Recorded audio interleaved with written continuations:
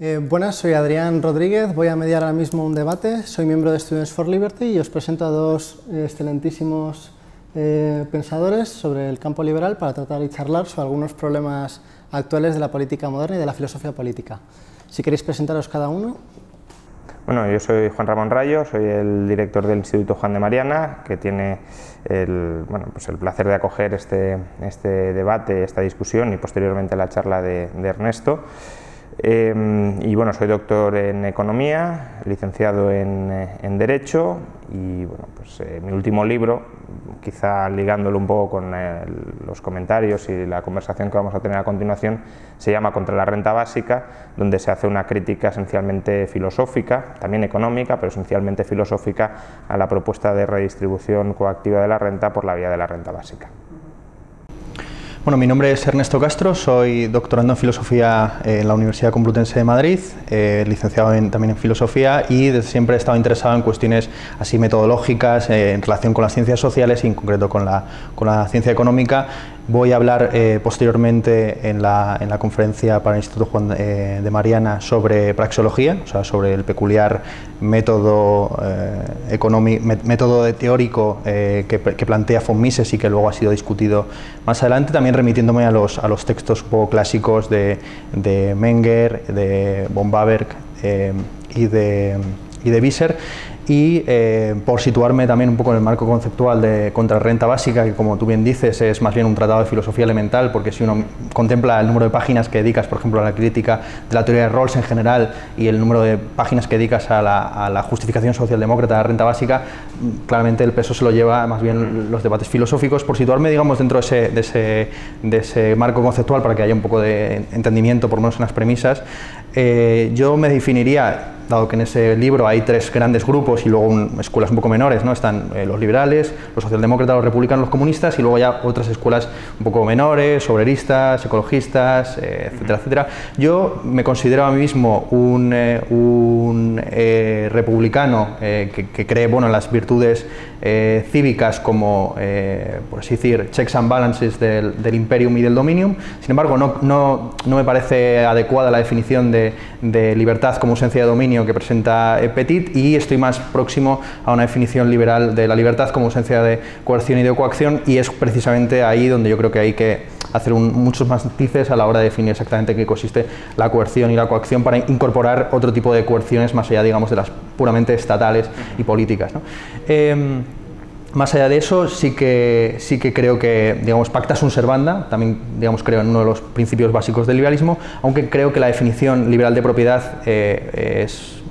criticable o matizable por razones que supongo luego tendremos oportunidad de, matizar. Pues precisamente es de eso de lo que vamos a hablar, de tres conceptos también fundamentales para la filosofía política, como son la autoridad política en general, eh, la democracia real, que ya especificaremos de qué, de qué trata, y el asunto también del libre mercado en general. Entonces vamos a empezar con el primer bloque, que espero que más o menos dura aproximadamente unos 20 minutos, donde podéis distenderos como queráis. Y en este punto me gustaría iniciarlo, introduciroslo, para formularos la pregunta en la que quiero que iniciéis, eh, con una fábula que ha sido contada por muchos autores liberales a lo largo del tiempo y que yo creo que pone muy bien al descubierto el gran problema de la autoridad política. Imaginaos que nosotros formamos parte de un vecindario y que como hay un problema de criminalidad bastante pujante,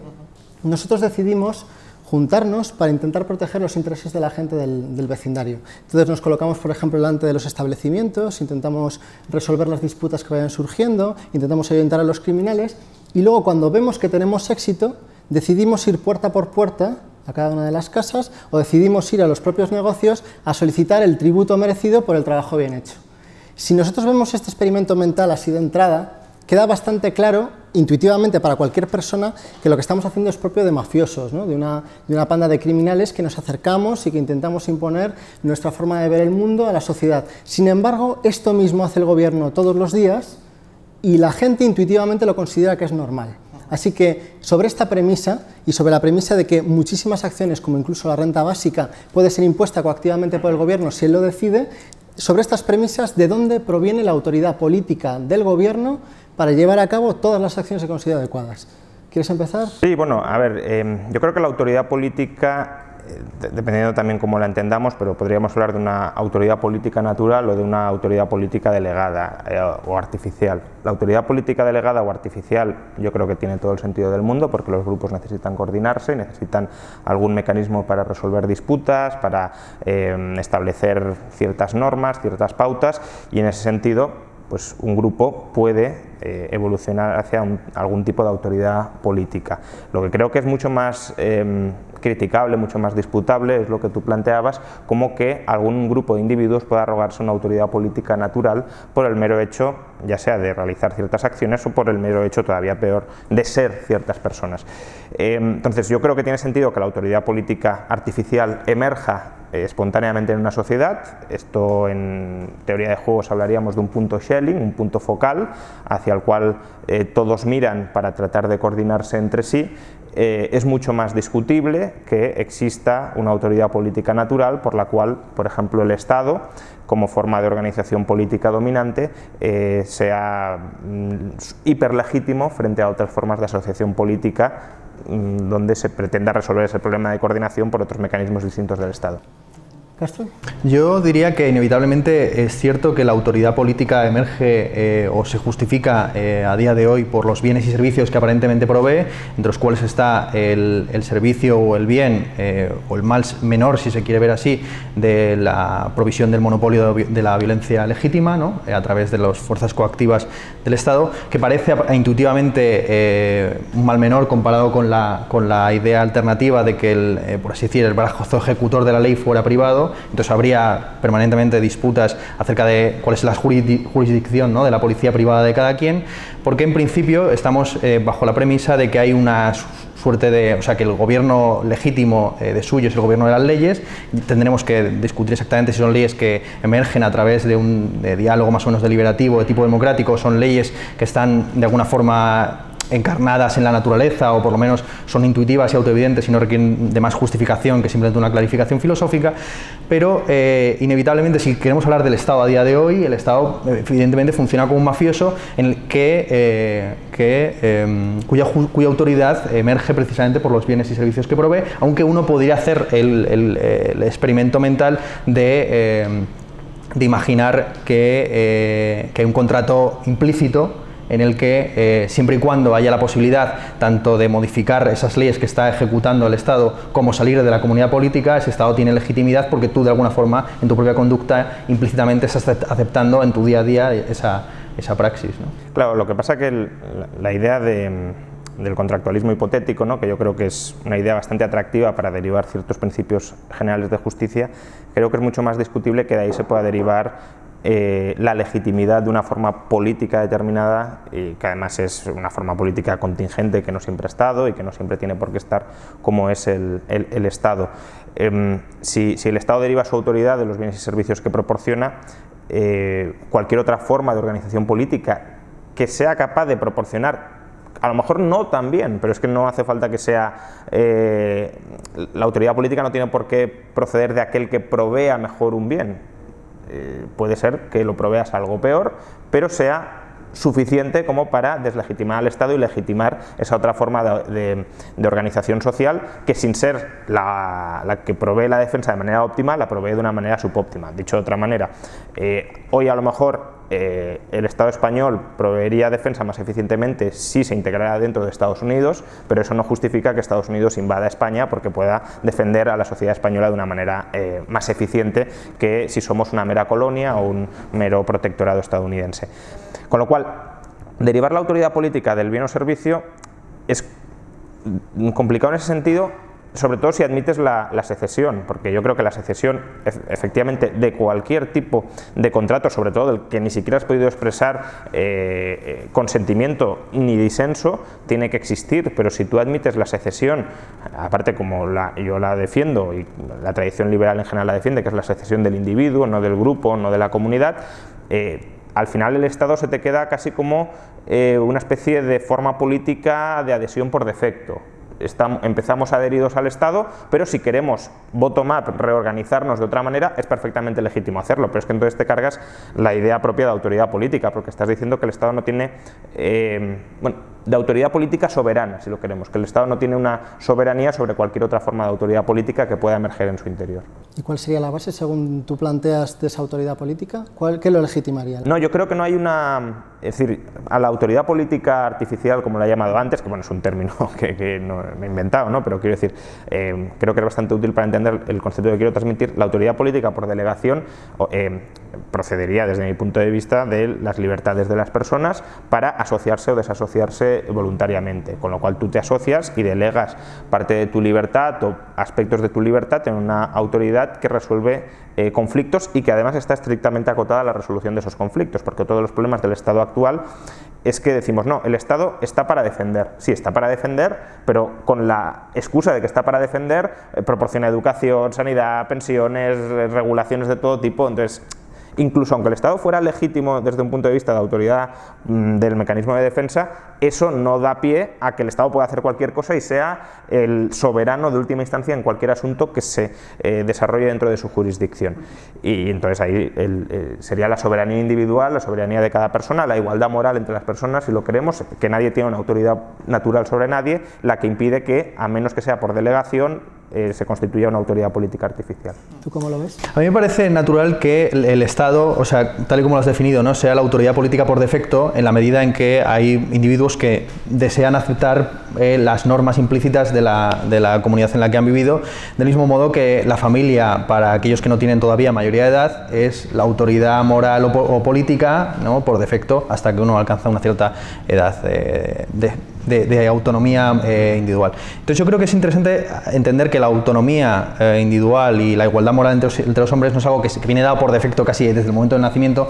sino que es algo también que se alcanza y que hay personas que tienen el derecho legítimo a estar sometidos a esa soberanía voluntaria, ¿no? aunque, aunque nunca le hayan expresado, pero es que tampoco han hecho ni siquiera el esfuerzo, a pesar de existir a día de hoy eh, mecanismos para desvincularse de determinados estados, aunque no existe la posibilidad, digamos, de ser apátrida, no, no, no existe a día de hoy esa, esa posibilidad, sí que existe la posibilidad de, bueno, de,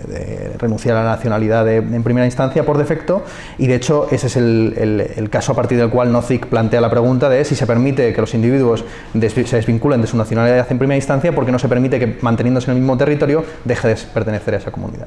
Yo creo que debería existir ese tipo de, derecho y también eso eh, también haría un también supondría un, un check and balance de la autoridad que tiene el Estado para no extralimitarse en ciertas funciones que no le competen o que, o que no se han decidido colectivamente que le, que le, competan. ¿no? Sí, no. Em, en cuanto a la analogía de Estado y familia, que creo que es lo, efectivamente un punto bien traído, eh, tienes cierto sentido otorgarle una autoridad, no solo autoridad, también obligación, porque el, padre o los padres no solo tienen autoridad sobre el menor, sino que eh, desde mi punto de vista tienen fundamentalmente obligaciones hacia el menor, ¿no? y es en el cumplimiento de esas obligaciones en las cuales tienen un margen para modular su, su autoridad. Eh, pero ahí sí tienes una base bastante natural, una base incluso genética, de, mm, donde puedes decir, bueno, ¿quién es el más adecuado para gestionar estas obligaciones hasta que la persona se vuelva adulta? Pues bueno, normalmente lo será aquellas personas que lo hayan querido traer a la vida, que tienen vínculos afectivos y que además genéticamente y evolutivamente tiene sentido que intenten transmitir sus genes y para ello necesitarán que sobreviva y que tenga éxito en sociedad. Entonces, ahí sí tiene esa autoridad muy limitada además, porque incluso hoy tampoco admitimos que el padre pueda hacer cualquier cosa con respecto a los menores y desde luego no admitimos que el padre pueda hacer cualquier cosa con respecto a personas adultas,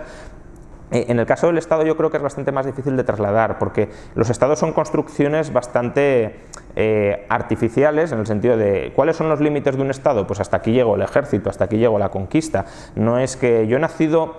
eh, dentro de esta comunidad nacional, la definición de nación al final es un conjunto de mitos compartidos, donde uno se reconoce al otro y el otro se reconoce como parte de esos mitos, y sobre esa base algunos intentan edificar el Estado. El problema es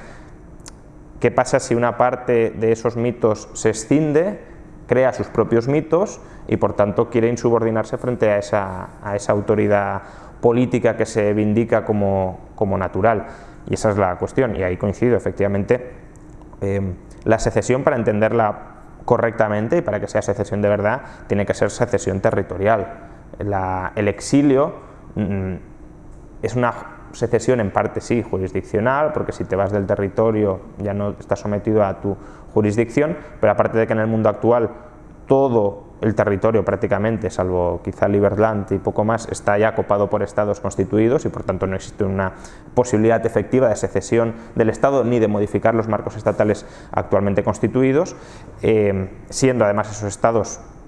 o habiendo nacido esos estados de maneras que no, parecen eh, legítimas porque son fruto de la conquista y no del consentimiento. Eh, si al final la autoridad del Estado derivaba de la prestación de servicios o de efectivamente que hay ciertos servicios, hay ciertos bienes públicos que deben ser mm, provistos, a lo mejor incluso por, medios coercitivos, eh, eso no impide que puedan, o no debería impedir, o no debería ser un argumento para impedir que en un territorio en el cual un Estado se arroga soberanía, si otro conjunto de personas pueden autoorganizarse para prestar esos mismos servicios sin menoscabar la funcionalidad de los servicios, además de los grupos eh, constituidos o sin menoscabarla gravemente, debería por supuesto tener mm, derecho a reivindicar ese territorio como propio y a eh, autoorganizarse políticamente en él.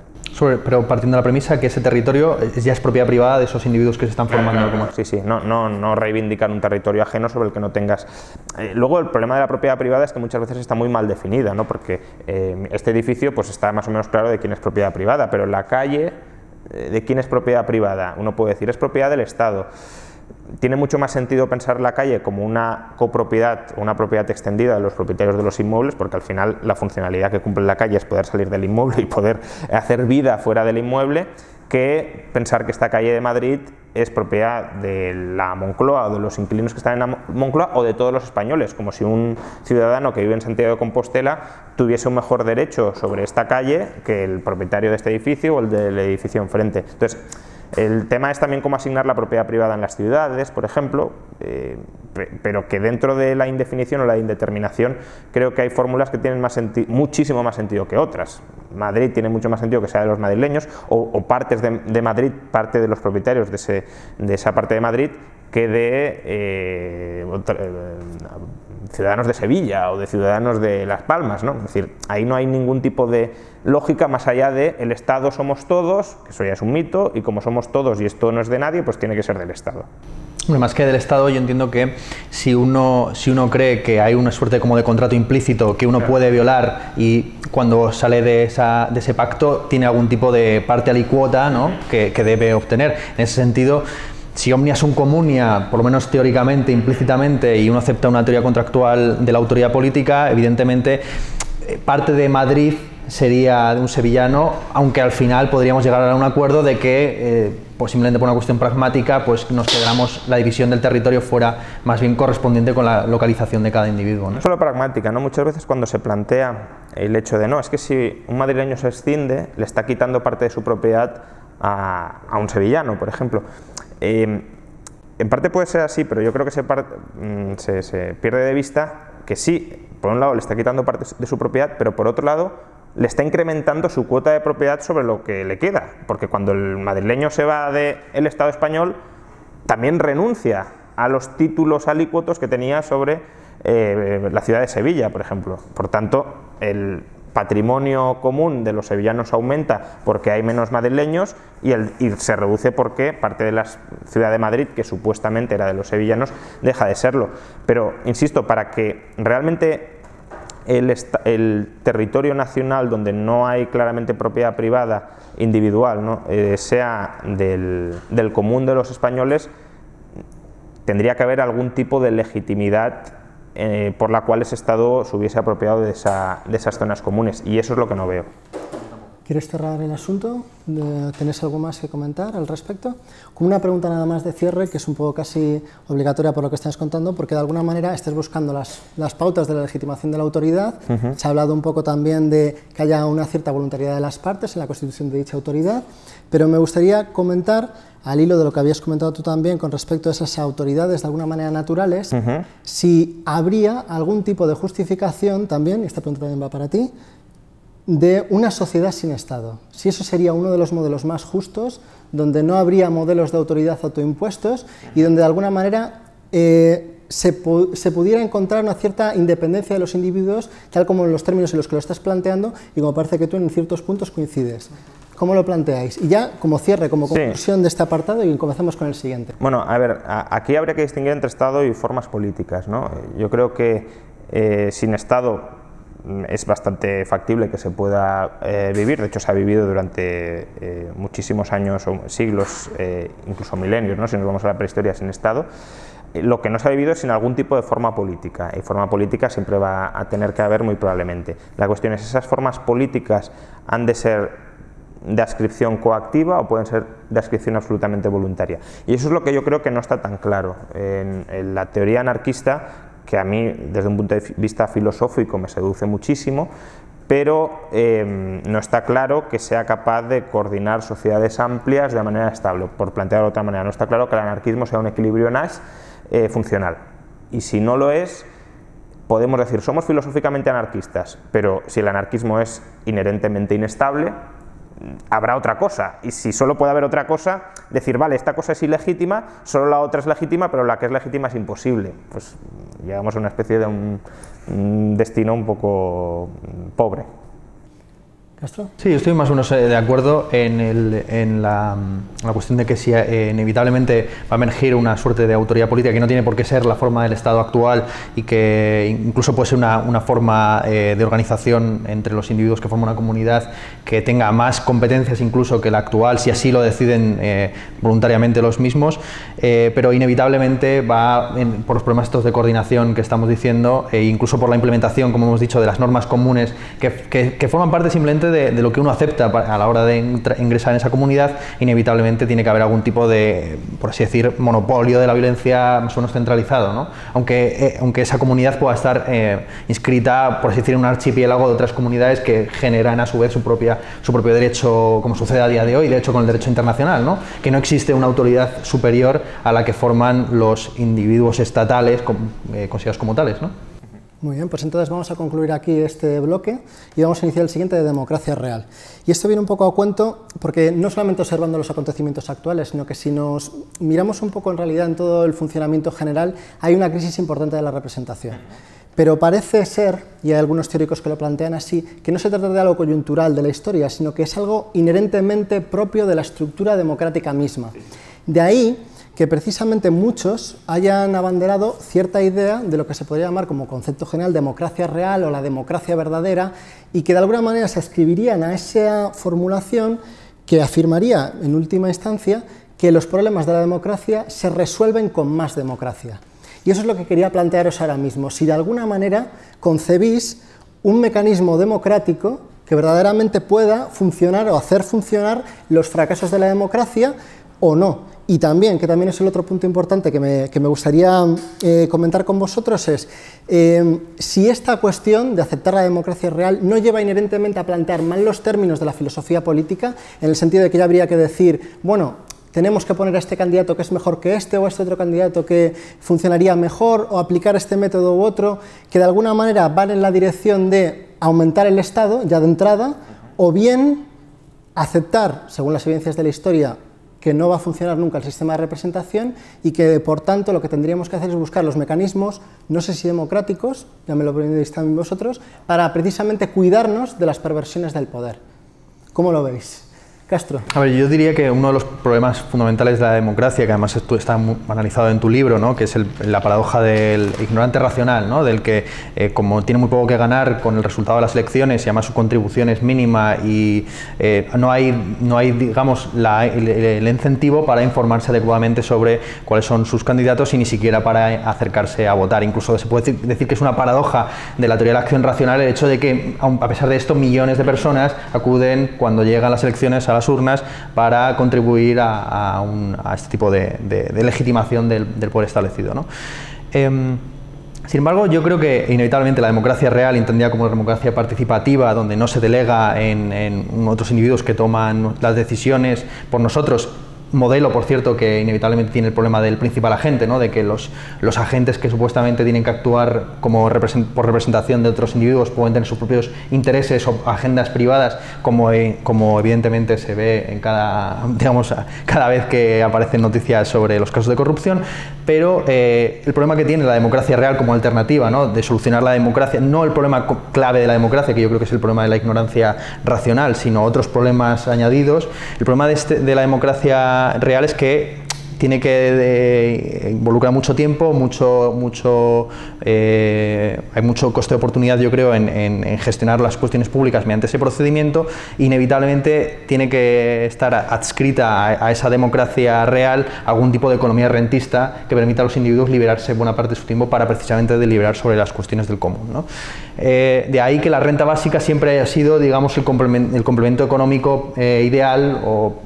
preferido por los, por los republicanos que quieren, eh, digamos, una, que, creen que la participación en la, esfera pública y en la democracia es algo que viene, incluso inscrito en la propia idea de dignidad humana. Un hombre es digno, incluso está en la propia idea de, la libertad de los antiguos, un hombre es libre en la medida en que puede participar del común de las, de, las cuestiones.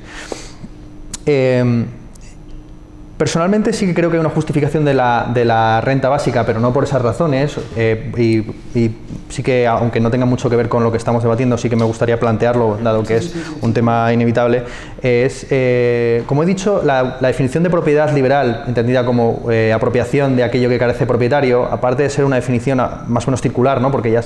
la propia definición de propiedad aparece el propietario ya como algo preexistente, creo que debería especificarse más, y de hecho en los liberales clásicos está especificado, en qué consiste la apropiación porque por ejemplo en Locke, apropiación último término es apropiación del, del fruto de tu trabajo mediante el trabajo de esos bienes naturales. Sin embargo, cuando uno habla de, apropiación a día de hoy, eh, o bien todas las propiedades son legítimas porque eh, han sido eh, transferidas bona fide a pesar de haber sido conquistadas o rapiñadas o fraudulentamente obtenidas, eh, o bien pertenecen simplemente a las rentas eh, legítimas del trabajo de un, particular. Entonces, para, que de alguna forma tengamos una definición de propiedad que declare algún tipo de propiedad ilegítima, yo creo que sería interesante acudir a una definición eh, consecuencialista, aunque a mí no, aunque el consecuencialismo está muy mal visto, digamos, en la filosofía política y moral, yo sí que creo que hay una cierta noción implícita de lo que supone una apropiación legítima de, de, una, de, una, de una entidad física o intelectual, que es que eh, tú la insertas en un plan vital, pero no solamente como mera propiedad. El ejemplo más claro que yo veo, por ejemplo, para legitimar una expropiación, es el caso, por ejemplo, en, el que los campesinos de Marinaleda expropiaron eh, aquellas eh, territorios de, secano que tenía el duque del infantado. Sabemos por la historia que el duque del infantado es un sujeto que ha construido su propiedad precisamente no mediante el intercambio y ni, los pactas servanda, ¿no? sino por otro tipo de procedimientos. sabemos además que el único, la, única incorporación que tiene esa propiedad dentro de los planes de vida del propio eh, eh, Duque es simplemente el hecho puro y físico de tenerlos,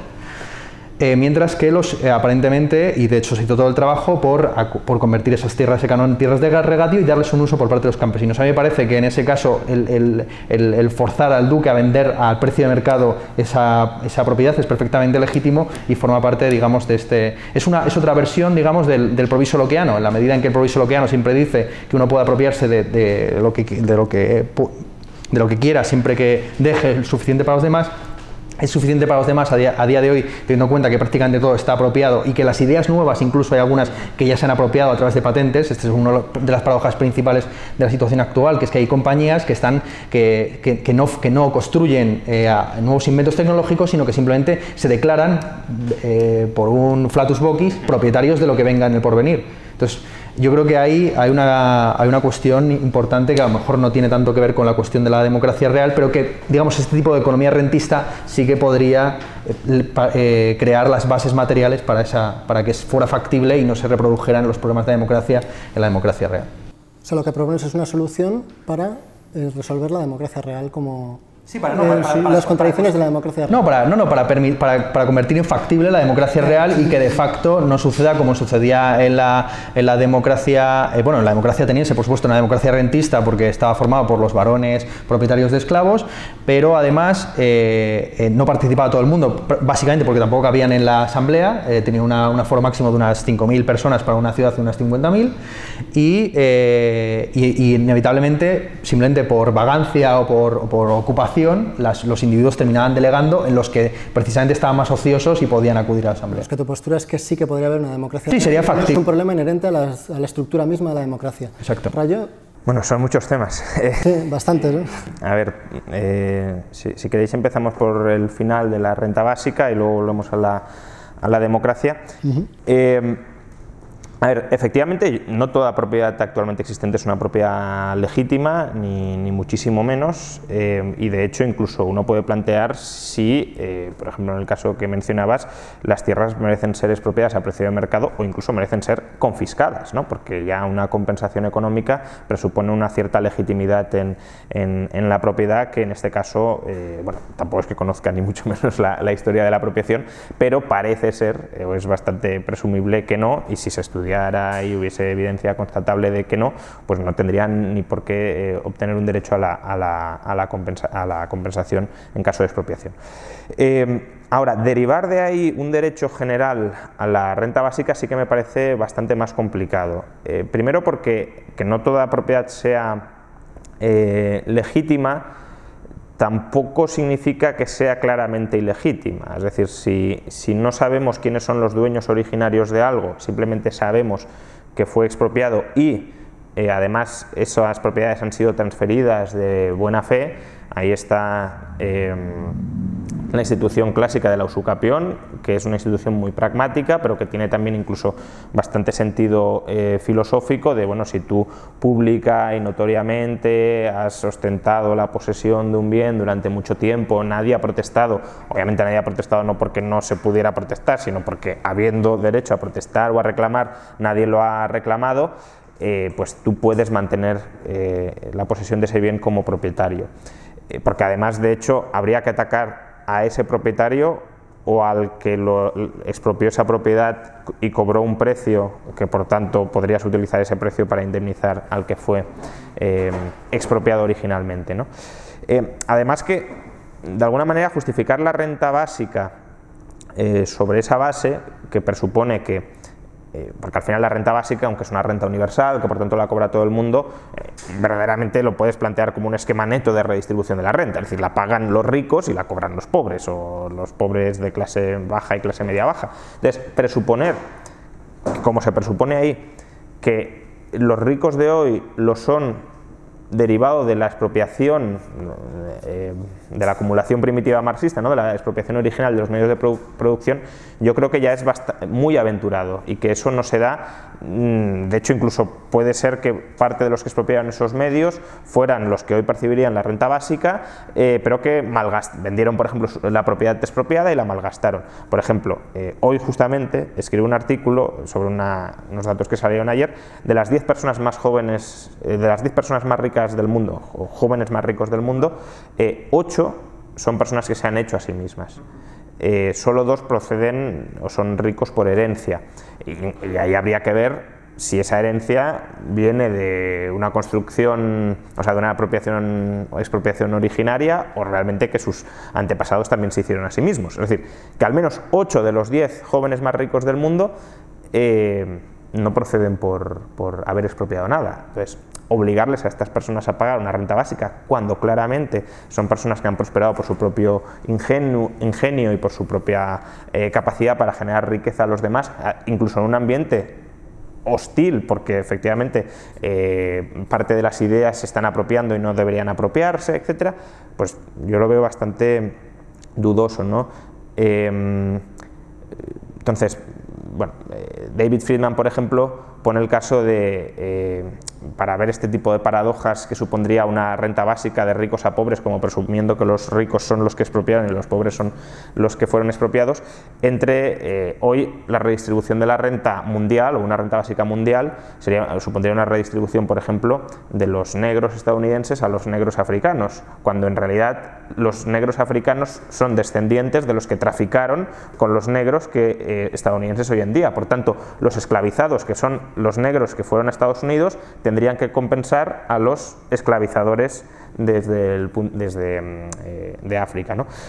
Pues eso intuitivamente tiene poco, poco sentido y tratar de decir, bueno, pues vamos simplemente a presumir que eso, los ricos hoy son los que expropiaron y los pobres son los que fueron expropiados, creo que es bastante simplista y que además no, no, coincide con la realidad actual, donde la realidad actual es que la riqueza se genera cada vez más por capital humano y menos por capital físico, o físico y sobre todo por tierras. Eh, y sobre la democracia, bueno, este es un tema amplísimo ya de por sí, ¿no? Es decir, primero, democracia real. Yo creo que todo mecanismo que sirve para mm, transformar preferencias del grupo en una preferencia agregada ya se le puede tildar de democrático. Eh, incluso la democracia orgánica podría ser un tipo de, democracia. Eh, y creo que el mayor problema de la democracia ni siquiera es eh, la ignorancia racional del votante, que lo es, por supuesto, porque al final ahí lo que te está diciendo es que el tipo de decisiones colectivas que saldrán sean bastante disfuncionales, sino el teorema de la imposibilidad de Arrow, es decir, que no existe un mecanismo único y objetivo para transformar una enorme cantidad de preferencias descentralizadas en una preferencia colectiva única. O dicho de otra manera, que manteniendo con los mismos votos, con las mismas preferencias dadas de un conjunto de individuos, si cambiamos la regla de agregación, el resultado es uno, puede ser uno u otro. Entonces, ¿hay una regla de agregación que es naturalmente mejor dentro de la democracia que otra? No creo que se pueda llegar a esa conclusión de ninguna de las maneras. Y por tanto, ¿cuál es el resultado más democrático posible?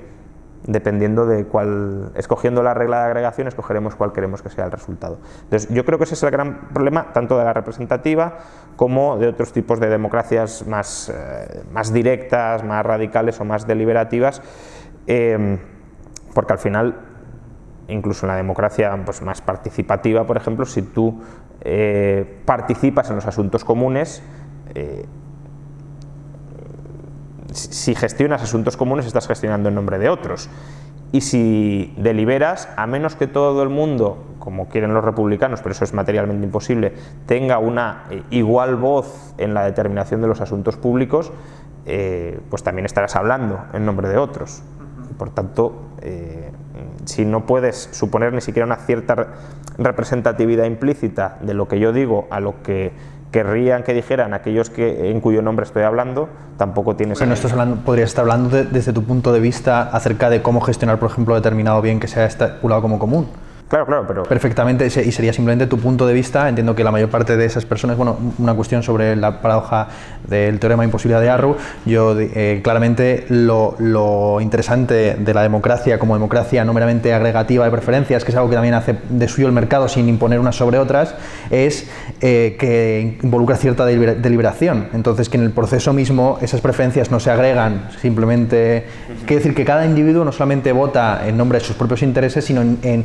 poniéndose o elevándose a algún tipo de consideración, un punto de vista relativamente imparcial. ¿no? Y, así, y, así sucede, y así sucede de facto en las democracias actuales, donde, donde sucede que, no se vota eh, en, en, nombre de intereses puramente materiales, sino que se, nombra eh, se vota en nombre de abstracciones, que son las que se han construido como ese punto de vista supuestamente imparcial. ¿no? Entonces, yo creo que eh, lo interesante de la democracia, no creo, yo soy un republicano débil en la medida en que no creo que la democracia sea el sumum de la realización individual a través de la participación. Creo que hay una participación en los asuntos públicos que no tienen por qué eh, ir de la mano de crear consensos o mayorías, eh, ¿no? pero sin embargo sí que me parece interesante la idea de que la democracia, como democracia deliberativa que soluciona precisamente estas, estas, estos problemas mediante un proceso eh, de, ilustración, de autoilustración en el, eh, tiene su, su, aquel. Y esa es la, la, gracia ilustrada, por así decir, de la democracia. Sí, pero yo creo que la democracia deliberativa también, eh, primero, el, teorema o, el problema de la ignorancia racional lo sigue teniendo, porque mm, tú lo decías antes, el coste de informarte bien, el coste de participar en esos asuntos, incluso con renta básica, puedes decir, bueno, yo tengo renta básica, pero no la tengo para participar aquí, la tengo para irme de vacaciones o para estudiar eh, mi campo en el que me realizo personalmente o para ayudar a una persona a través de una ONG. Quiero dedicar mi tiempo libre a esto, no a estar votando y discutiendo y debatiendo. Hay gente a la que no le gusta discutir, a la que no le gusta debatir. Eh, hay gente además que es mucho menos locuaz que otras personas. Por tanto, la democracia deliberativa a quien da más poder realmente es a los demagogos, a los populistas, a los que tienen capacidad para embaucar al al, prójimo. Eh, entonces, el, problema de la ignorancia racional lo sigues teniendo. El problema de eh, los sesgos a la hora de, razonar y a la hora de tomar eh, decisiones también lo sigues teniendo como en la democracia representativa. El problema de la información lo sigues teniendo. Y luego el problema de la, imposibilidad de Arrow en parte también, porque es decir, tú puedes decir, bueno, a través de la deliberación llegaremos a un consenso. Y por tanto, si hay un consenso, es obvio que la voluntad colectiva es la consensuada. Pero ¿y si no llegamos a un consenso? Hay muchas áreas donde no se va a llegar a un consenso. Entonces, a partir de ahí, ya solo quedará votar. Y siempre que tengas que votar, el problema de la imposibilidad de arrow lo vas, a, lo vas a tener, porque no vas a poder trasladar un número dado, o sea, un conjunto dado de preferencias en una única preferencia colectiva, cambiando la regla de agregación, diciendo, bueno, votamos primero esta propuesta o la otra, las votamos todas a la vez, eh, por mayoría simple, por mayoría absoluta, por mayoría cualificada, te saldrán unos resultados, primera vuelta, segunda vuelta, te saldrán unos resultados u otros, y por tanto, eh, realmente no tienes lo que quiero decir es que no existe una especie de voluntad orgánica. Sí, no, eso por supuesto. Y yo creo que en general los republicanos no creen en ese tipo de, de, voluntad orgánica, sino que la voluntad se construye precisamente en, ese proceso. ¿no? Pero que puede fracasar. Puede fracasar perfectamente, claro, sí, sí, sí. Y de hecho yo creo que en, sociedades muy amplias va a fracasar inevitablemente. Entonces ya tienes que ir hacia eh, eh, comunidades más pequeñas. Eh, y si vas a comunidades más pequeñas, es decir, yo no soy antidemócrata en un sentido eh, estricto del término. Yo soy partidario de la democracia liberal correctamente entendida, que tampoco es la democracia que tenemos hoy, a mi entender. Una democracia liberal, creo que si vas al origen de qué es liberalismo, es una democracia de libre adscripción. De la misma manera que, eh, que antes decíamos los grupos necesitan organizarse, pues eh, claro, necesitan organizarse como, pues una manera, yo creo, bastante sensata de organizar voluntariamente un grupo es a través de la democracia, porque no le estás estás, en parte estás solucionando el problema del principal agente eh, y, no estás delegando autoridad y no estás delegando poder. ¿no? Y eso se ve, por ejemplo, en las comunidades de vecinos, donde eh, claramente es una organización eh, bastante democrática, pero ahí la clave es que sea una democracia de libre inscripción. Porque decir, no, como aquí somos un grupo tú tienes que votar dentro de ese grupo y lo que decida el grupo te, atañe a ti. No, perdone, eh, yo no tengo por qué formar parte de este grupo, al igual que aquí, que somos cinco o seis, si ahora queremos montar un grupo y votar si pagas tú la cena o la dejas de pagar, no, no se puede, por mucho que deliberemos. Es decir, todos podríamos deliberar y estar de acuerdo en que por alguna razón extraña tú tienes que pagar la cena y eso no te obligaría a ti a pagar la cena. Y ya voy a dar un cierre ya al tema porque se nos puede ir acabando el tiempo. Y lo único que quería comentar ya un poco al hilo anterior, porque se han contado muchísimas cosas en este bloque, ya un poco para unificarlo todo, eh, que al fin y al cabo parece que la democracia es como una palabra muy tabú, casi como que no se puede tocar. Es, un, es una palabra sagrada para la sociedad actual y eso supone que detrás de ella se ocultan muchos intereses místicos, en el sentido de que se le confiere un poder que quizás no tiene o que no está a la altura de lo que verdaderamente la gente necesita. Entonces, al hilo de lo que se ha comentado, de que puede que haya errores estructurales en la democracia que hagan que fracase y de que quizás cabría la posibilidad de algún tipo de soluciones que hagan que la propia democracia se volviera más real, si cabe, contra esto. Eh, ¿cómo, ¿Cómo explicáis vosotros que de alguna u otra manera la democracia siempre acabe siendo una ficción colectivista en base a la cual siempre se apela a un sujeto democrático que en el fondo no existe que es el pueblo, se suele decir el pueblo elige, el pueblo decide, la gente decide, vosotros mismos has dicho, ¿no? Eh, la gente participa activamente, ¿quién es la gente? ¿quién es el pueblo? ¿De dónde vienen todos esos conceptos políticos? Y ya de alguna manera, para cerrarlo, ¿cómo lo enmarcáis con todo esto? Y si eso tendría más sentido incluso con lo que estáis planteando de la renta básica, si quieres contarlo ya como cierre. No, eh, a ver, yo creo que son ficciones que son útiles para legitimar el poder político, ¿no? La autoridad política eh, natural de la que hablábamos antes, eh, la idea de que yo me tengo que someter a las decisiones del pueblo porque no soy más que nadie y por tanto si yo no acepto eh, la voluntad de la mayoría, de alguna manera me estoy arrogando arrogantemente una autoridad por encima de la mayoría cuando todos los otros son iguales. Yo creo que ahí el error de partida es pensar que un conjunto de individuos eh, es más que una persona, en el sentido de tener derechos sobre eh, una persona, un conjunto de individuos tampoco tiene autoridad sobre esa persona. No la tiene la autoridad sobre el grupo de individuos, pero tampoco el grupo de individuos, por el mero hecho de ser una agregación, sobre esa persona. Entonces, claro, cuando eh, se abandona la concepción patrimonialista del Estado, la monarquía absoluta, ahí, claro, hace falta, si tú quieres mantener el Estado, hace falta crear una ficción que diga esto de quién es, y las leyes de dónde derivan, y la soberanía dónde está. Entonces se crea la ficción del el pueblo. El pueblo como una comunidad mística, como una comunidad primitiva que ha evolucionado conjuntamente, como si siempre fuéramos todos los hijos de los mismos, como si tuviésemos normas, ritos, religiones eh, comunes. ¿no? Eh, y no digo que no haya parte de eso, pero desde luego ni es como nos han contado con el mito, ni ese mito justifica la autoridad política soberana del, eh, del Estado. Entonces, sí, hoy la democracia es un tabú, de hecho, a mí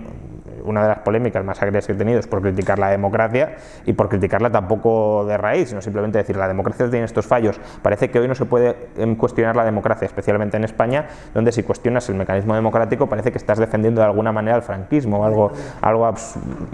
totalmente absurdo. ¿no? Sí, efectivamente, vamos, te cabe constatar que eh, democrático se ha convertido en un adjetivo eh, mayorativo como podía ser católico en otra época, es una cosa analizada por Gustavo Bueno de que en el siglo XIX se hablaba de la mujer católica y a día de hoy incluso se llega a hablar del orgasmo democrático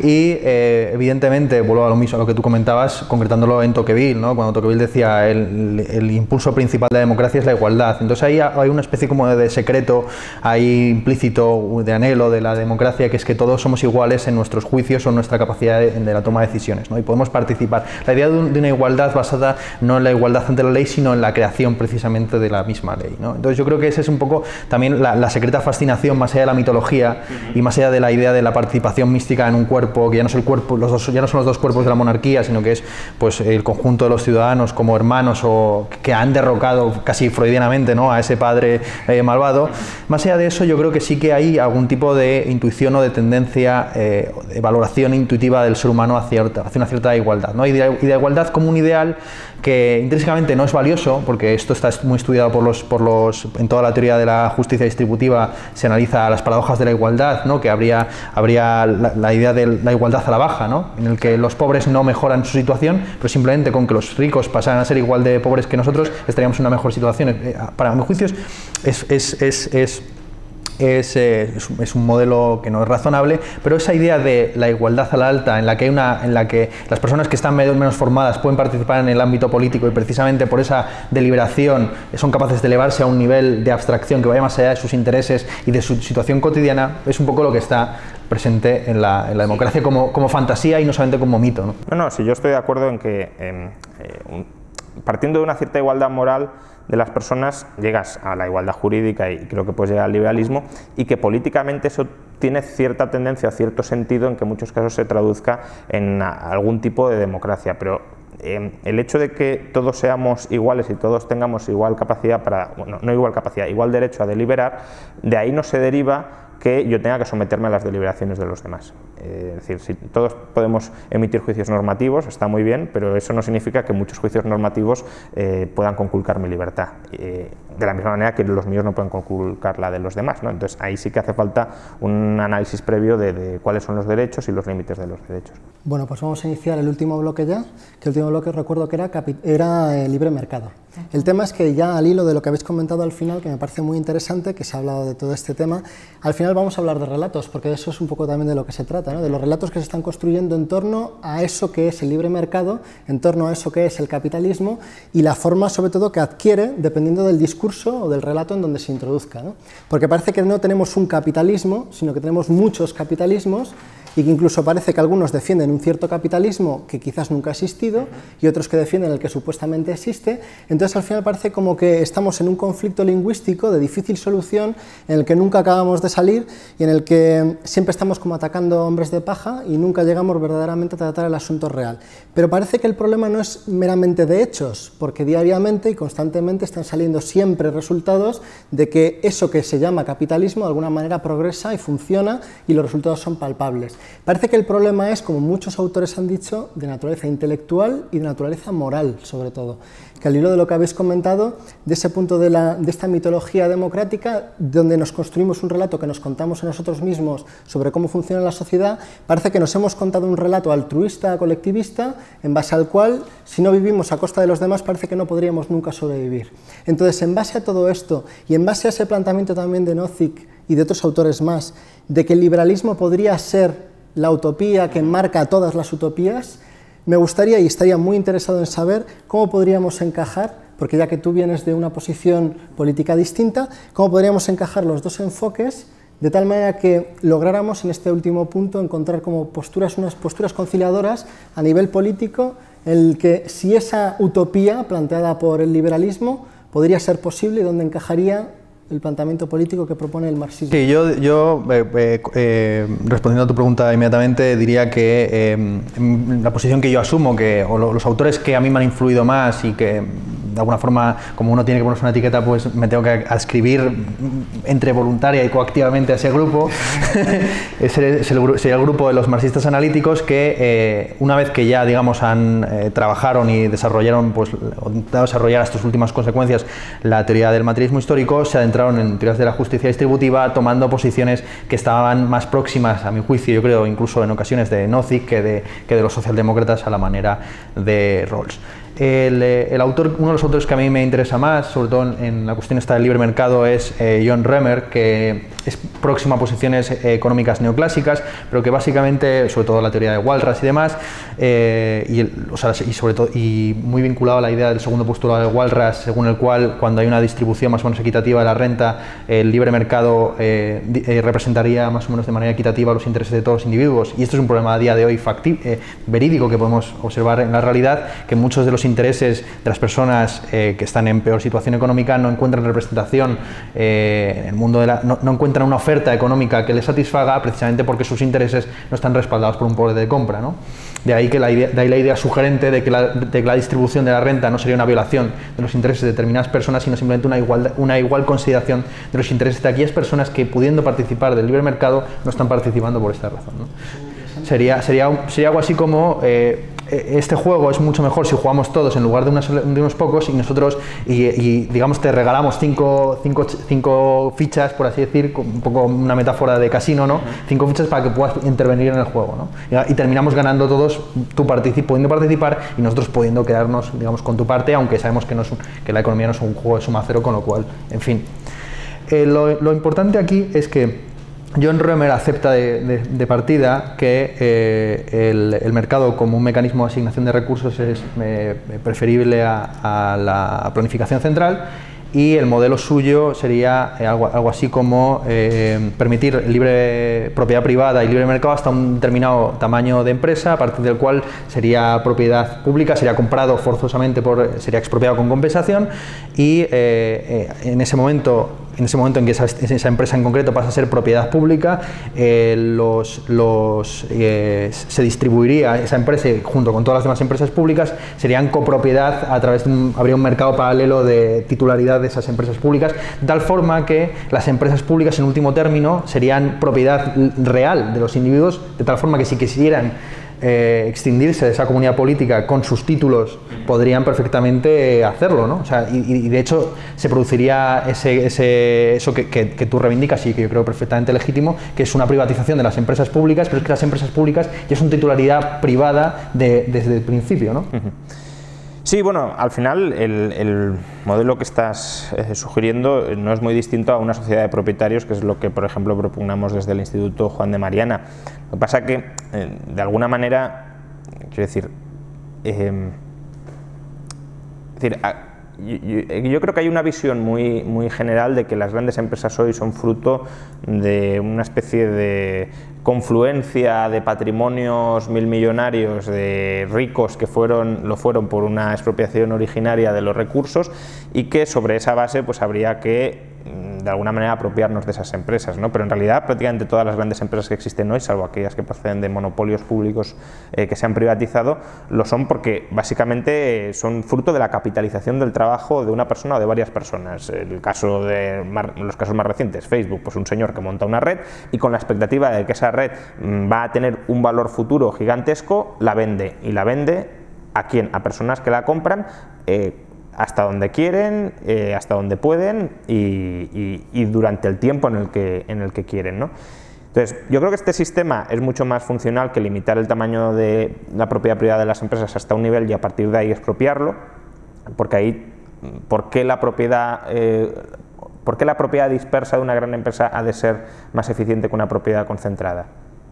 No digo que no tenga por qué serlo, pero que los dos modelos pueden tener sentido. En el caso de una copropiedad masiva tienes el problema principal, la gente clarísimo, es decir, eh, eh, las, élites que lleguen a controlar esa empresa pública no van a poder o sea, van a estar absolutamente descontroladas porque no vas a tener realmente accionistas de control prácticamente de ningún tipo. Eh, en cambio, una BMW, por ejemplo, es una empresa gigantesca que funciona muy bien y que sigue siendo una empresa familiar. ¿Por qué? Porque los accionistas de control son la familia que la creó. ¿Tiene sentido que sea así? Bueno, puede tenerlo. Entonces, eh, el capitalismo lo que permite, el capitalismo de libre mercado, por matizar también un poco eh, en la, cuestión que planteabas antes, lo que permite es modelos múltiples de organización empresarial y la competencia entre esos modelos múltiples de, organización empresarial, partiendo de la base, que yo creo que es una idea hayekiana muy interesante, de que no sabemos qué es lo óptimo. Es decir, la competencia es un proceso de descubrimiento porque no es, vamos a tratar de simular las condiciones, que eso es lo que hace el modelo de competencia perfecta balrasiano, en el que se basa Romer, eh, vamos a tratar de simular las condiciones para llegar aquí. No, no, es que no sabemos dónde tenemos que llegar. Y por tanto, la competencia es el mecanismo para descubrirlo. Eh, y bueno, y sobre lo que decías, que ya que en el libro lo menciono, pues eh, lo, traigo a colación del liberalismo como una utopía de utopías, como un marco para las utopías que decía Nozick. Yo en el libro digo que el liberalismo eh, es una utopía, eh, podríamos decir, no diría una utopía integradora, no es el adjetivo que utiliza, pero es al final lo que quiere decir, ¿no? porque eh, permite que muchas otras utopías convivan con ella y por tanto integra, pues, si alguien quiere montar una comuna socialista, una comuna republicana, eh, Ernesto antes lo decía, ¿no? a lo mejor por ascripción voluntaria llegamos a sistemas políticos que son incluso más intervencionistas que los actuales. pero también creo que es una utopía integral, en el sentido de que si al final uno dice, bueno, a ver, de la socialdemocracia, ¿qué valores nos interesan? Pues sobre todo el pilar de, la igualdad, ¿no? Eh, del republicanismo, ¿qué nos interesa? Pues la participación, eh, la influencia en los asuntos públicos, la gobernabilidad, etc. Del comunismo, ¿qué nos interesa? Pues una cierta propiedad comunal de los medios de producción, la ausencia de explotación de unos individuos sobre otros.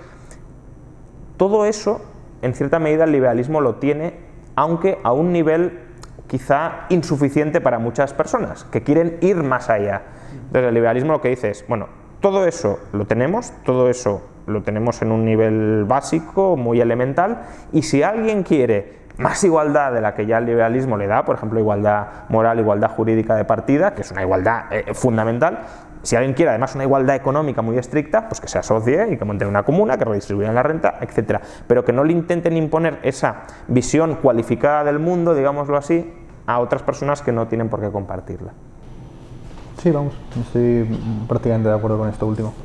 ¿Y querés aportar algo al hilo del anterior? No. ¿Algún tema más? Sí, porque al fin y al cabo en todo este planteamiento lo que parece que está claro es que eh, los relatos que se han ido contando a la gente para resolver todo ese tipo de conflictos, tanto sea de un lado u de otro, para encajar en este modelo siempre de cooperación mutua, es eh, que las utopías que iban construyendo eran siempre para ser impuestas a los demás, es lo que se ve desde la historia. Entonces, eh, ya para cerrar, si queréis el, el debate, me gustaría que plantearais hasta qué punto veis que quizás esto que se plantea como una utopía, quizás siempre, como siempre ha sido una ideología de imposición de una cierta visión del mundo sobre los demás, cómo verdaderamente podría eso encajar dentro del liberalismo en cuanto tal y cómo podrían integrarse otras visiones y aparte de todo eso, si consideráis también que la base o el fundamento de eso tendría que ser de una naturaleza moral para cambiar a la sociedad en general o hay que hacer algo más extra o en qué línea hay que trabajar para lograr este objetivo común de convivencia mutua con acuerdos voluntarios y libres. Yo, bueno. Como queráis. Sí, vamos, yo creo que efectivamente, ¿no? Ha sido la, la, la también la utopía del libre mercado eh, ha, venido como mito justificador de, por ejemplo, eh, la expropiación originaria mismamente, ¿no? que supone también la conversión de una propiedad comunal en la que no quedaba muy claro cuáles son los derechos de propiedad. Se aprovechó precisamente esos, esos loopholes, esos agujeros del derecho eh, comunal y constitucionario para realizar las famosos, los famosos enclosures británicos, de los cuales yo creo que deriva buena parte de, de lo que comentábamos antes, ¿no? de justicia de si no de la riqueza de los ricos actuales, lo que la paradoja nunca la había pensado, pero la paradoja que comentas acerca de que en una renta básica mundial serían los negros de Estados Unidos los que tendrían que eh, pagar la renta básica de los que les vendieron, vendieron a sus, antecesores en el pasado, yo creo que sí que es cierto, sí que hay que reconocer o asumir de partida algo que está en la historiografía marxista, a lo mejor es de lo poco que es salvable de la historiografía marxista, de la idea de los, de los tres estadios y demás, que es que hay una injusticia originaria eh, que, que ha permitido un desarrollo de las fuerzas productivas eh, y, no es la riqueza de unos respecto de otros, no es la desigualdad misma, sino, por así decir, el estado de, mejora en la que nos encontramos, donde el pobre a día de hoy es en ocasiones más rico que los reyes del pasado, es precisamente esta mejora. Esta mejora se ha obtenido a través de un proceso injusto en el que la historia ha caminado hegelianamente por su lado oscuro. Entonces, como ha ido caminando por su lado oscuro, de alguna forma sería necesario algún tipo de restitución, pero simplemente es un reconocimiento de que hay una, por así decir, eh, un bienestar de partida que damos por sentado, pero que ha sido construido eh, por, procedimientos muy complejos que no somos capaces de historiográficamente detallar y como de manera un poco jacobina, si quieres, pero haciendo tabula rasa con esas injusticias pasadas, de ahí una cierta distribución de la renta. Volvemos a la renta básica porque es la mejor la propiedad más sugerente, es la, propuesta más sugerente a día de hoy y la que precisamente es menos paternalista en, su distribución, en su uso, etcétera, etcétera. ¿no? Pero yo creo que es, esto es un poco, esto está implícito en la, en, la, en la, cuestión y sobre todo hay una paradoja inevitable que es que cómo avanzamos de la situación en la que nos encontramos actualmente hacia esa, esa eh, utopía del libre mercado donde, donde todos serían eh, voluntario y, y precisamente entre entre, iguales. ¿no? Entonces tú lo ves como un problema moral de restitución de una historia pasada anterior. Sí. ¿Cómo responderías a eso? Ya concluimos, si os parece, con, el, con el Contestando a esto, y, sí que querría hacer un punto adicional ligado a lo que tú comentabas, eh, incluso si nos vamos al proviso de Locke, yo veo complicado justificar esa restitución originaria eh, en función de, la historia negra de la humanidad, ¿no? porque al final, como bien decías, eh, hoy hay mucha más abundancia que aquella en la que nos encontrábamos en la posición de partida. Entonces yo podría entender una defensa del proviso de Locke diciendo, bueno, hay gente que ha salido perjudicada por estos cambios y que ahora mismo se encuentra en una posición de inferioridad. Volviendo al proviso de Locke, que tengan menos y de menor calidad disponible que en su momento, pero es que nos encontramos en una situación opuesta, que ahora hay mucho más y de mucha más calidad que antes de esas expropiaciones. Y, sin ello justificar las expropiaciones, pero veo difícil que sin poder asignar eh, culpables claros y víctimas claras, simplemente porque la historia haya seguido un rumbo que en general ha mejorado eh, la situación de todos, eh, se, pueda, se pueda justificar esa transferencia forzosa o lista, si lo queremos. ¿no? Y luego sobre lo que decías del, de la moralidad o de cómo dar la batalla de las ideas y de los ideales. Sí, yo creo que en definitiva eh, lo que falta es, eh, o la batalla que hay que ganar es esa, batalla moral, no esa batalla por el respeto, esa batalla por la tolerancia como valor intrínseco de la organización política. El eh, yo no soy más que nadie y por tanto ni yo puedo gobernarte a ti ni tú puedes gobernarme a mí. Si hay disputas entre ambos habrá que buscar una autoridad que no tiene por qué ser única, monopolista, ni siquiera tiene por qué em, eh, ser una autoridad que se la arroga ella misma, sino que puede ser una autoridad por delegación que solvente ese problema. Y a mí me gusta comparar esto con el debate de la libertad religiosa, donde al fin y al cabo nace el liberalismo. E, era inconcebible, en, tanto en cuanto un grupo se define por una serie de mitos, de creencias y de religiones comunes,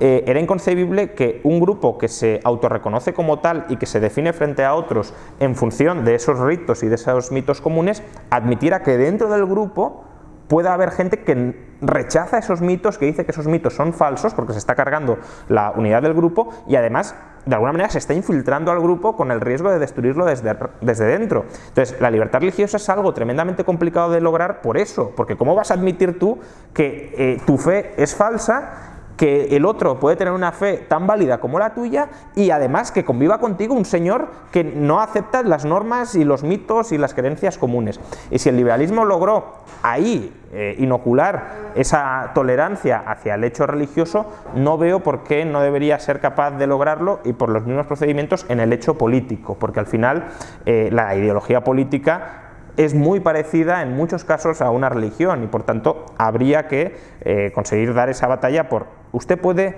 tener las preferencias sociales, ideológicas, eh, morales que quiera, pero partiendo de una base de respeto mutuo, de tolerancia, tolerancia mutua, para que nos podamos organizar ustedes y organizar nosotros según nuestra visión de la buena sociedad, de la buena vida, y dentro de esas autoorganizaciones